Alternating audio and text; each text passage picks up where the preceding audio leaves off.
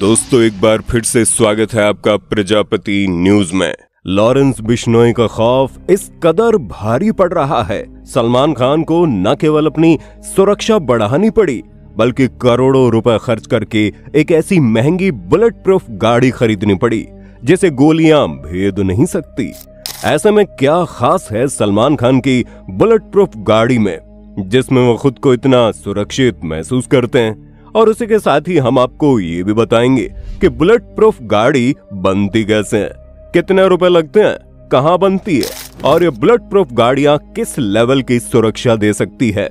आज आपको सब कुछ जानने का मौका मिलेगा। बस मेरे यानी अपने दोस्त विशाल प्रजापति के साथ वीडियो के अंत तक बने रहिए। लेकिन हाँ वीडियो शुरू करने से पहले एक छोटी सी रिक्वेस्ट है। वीडियो के नीचे रेड कलर का सब्सक्राइब बटन दिख रहा होगा, उस पर क्लिक करके सब्सक्राइब कर लें और साइड में बेल आइकॉन भी दिख रहा होगा, उस पर भी क्लिक कर लें ताकि आपको वीडियो मिले सबसे पहले। दोस्तों, साल 2018 से लेकर अब तक लॉरेंस बिश्नोई और उनके आदमियों द्वारा लगातार सलमान खान को जान से मारने की धमकियाँ मिल रही है। लॉरेंस बिश्नोई ने तो जेल के अंदर बैठे बैठे अपने एक इंटरव्यू में ये तक कह डाला कि मुझे सलमान खान से कोई दुश्मनी नहीं है। लेकिन उसने काले हिरण को मारकर गलत काम कर दिया। जिसकी माफ़ी अगर वो मांग लेता है तो मैं उसे छोड़ दूँगा। जबकि सलमान खान इस मामले में बोलने तक को तैयार नहीं है। लेकिन उनकी नई बुलेट प्रूफ गाड़ी को देखकर तो ये लग रहा है कि बाबा सिद्दीकी की मौत के बाद कहीं ना कहीं खौफ का कीड़ा सलमान खान के दिमाग में मंडरा रहा है। तभी तो उन्होंने करोड़ों की बुलेट प्रूफ गाड़ी ले ली। आपको बता दें, सलमान खान की जो बुलेट प्रूफ गाड़ी है, उसका नाम है निसान पेट्रोल एसयूवी इसके अलावा सलमान खान के पास टोयोटा की लैंड क्रूजर फ्री भी है। ये भी एक बुलेट प्रूफ गाड़ी है।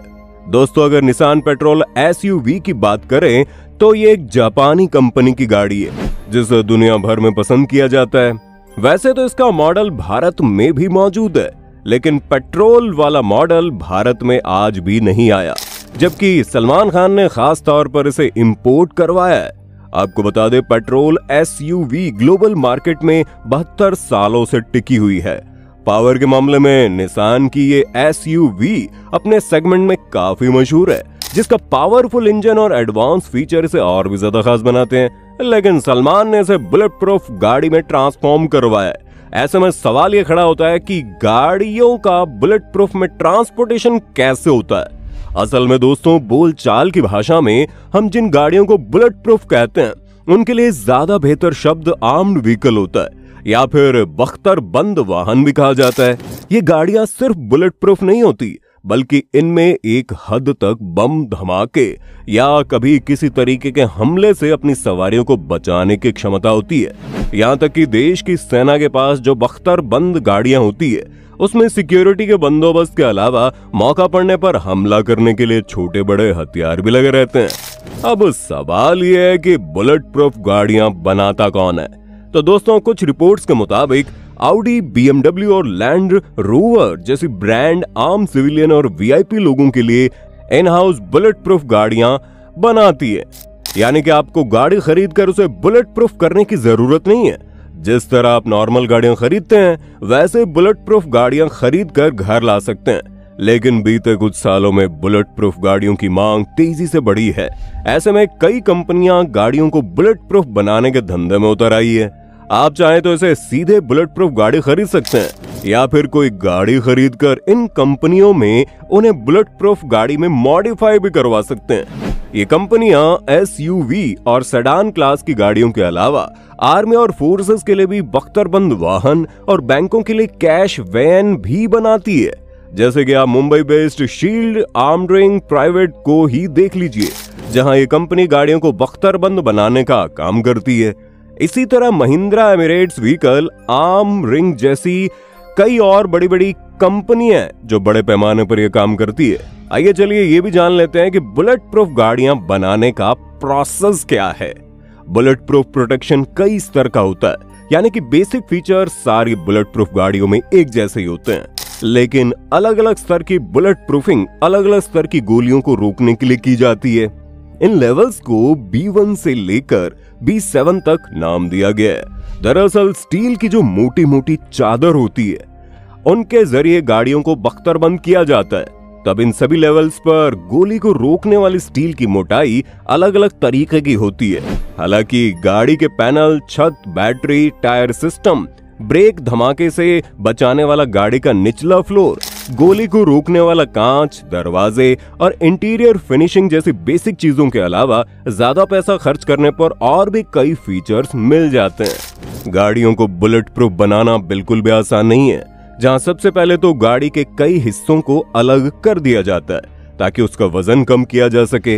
यानी कि गाड़ी की वायरिंग, कारपेट और सीटें वगैरह अलग होती है, और फिर गाड़ी की चादरें और पिलर्स वगैरह को खोलकर उनमें बख्तर बंद पैनल लगाए जाते हैं। ये पैनल अक्सर बैलिस्टिक ग्रेड की स्टील के बने होते हैं। इसके अलावा हल्के वज़न वाले रेसिंग बैलिस्टिक नायलॉन या केवलर भी इसमें इस्तेमाल किए जाते हैं। यही मटेरियल बुलेट प्रूफ जैकेट में भी इस्तेमाल होता है। इसके अलावा कार में फायरवॉल और क्रम्पल जोन बम्पर का भी इस्तेमाल होता है। दोस्तों, इनमें ऐसा पदार्थ होता है जो गाड़ी के किसी भी चीज़ से टकराने पर टक्कर के प्रभाव को कम कर देता है, जिससे गाड़ी के रेडिएटर और बाकी मशीनरी को नुकसान नहीं पहुँचता। इसके अलावा फैक्ट्री वाला बुलेट प्रूफ गाड़ियों में विंडो ग्लास हटाकर उसकी जगह एक मोटी कांच जैसी ट्रांसपेरेंट शीट लगाई जाती है। ये शीट प्लास्टिक और लेड से मिलकर बनी हुई होती है। इसकी मोटाई आमतौर पर एक से दो इंच की होती है। सिक्योरिटी लेवल के हिसाब से इसे और भी मोटा किया जा सकता है। आर्मोर मैक्स नाम की बख्तर बंद गाड़ियाँ बनाने वाली कंपनी के सीईओ का कहना है कि हम जो काम करते हैं, उसकी लाइफ टाइम वारंटी लेते हैं। लेकिन कांच की वारंटी दो साल की होती है, यानी कि गाड़ियों की तो पूरी वारंटी होती है। लेकिन अगर कांच दो साल बाद खराब हो जाए और कोई गोली उसे भेद कर अंदर बैठे पैसेंजर को लग जाए, इसकी वारंटी कंपनी नहीं लेती।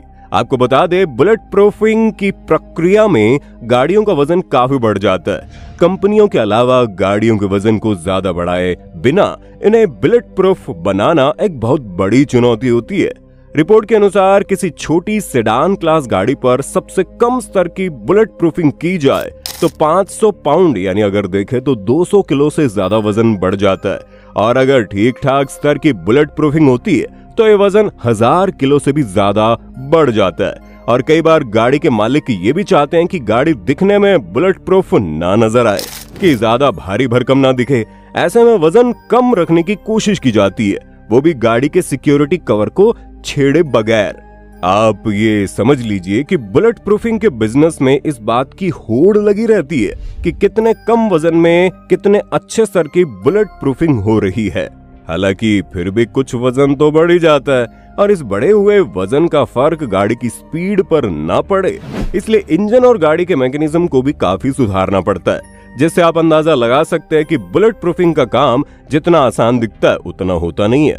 और सलमान खान की जो बुलेट प्रूफ गाड़ी है, वो काफ़ी हाई लेवल की है, जिसमें मैक्सिमम बुलेट प्रूफिंग की गई है। ऐसे ही बुलेट प्रूफिंग की गाड़ियाँ देश के प्रेसिडेंट और प्रधानमंत्री के पास होती है, जो इस वक्त सलमान खान के पास भी है। तो दोस्तों, उम्मीद है आपको सब कुछ अच्छी तरह से समझ आ गया होगा। बाकी आपका वीडियो पर क्या ख्याल है, कमेंट में बताइए ना। और ऐसे वीडियोस को देखते रहने के लिए हमारे चैनल प्रजापति न्यूज़ को लाइक शेयर सब्सक्राइब ज़रूर करना। और हाँ हम फिर मिलेंगे नए वीडियो में। तब तक के लिए जय हिंद जय भारत। दोस्तों आपकी स्क्रीन पे दो और वीडियोस दिख रही हैं, जिसे देखने के लिए आप इस स्क्रीन पर क्लिक करें। दोनों देखिएगा बहुत अच्छी वीडियो बनी है।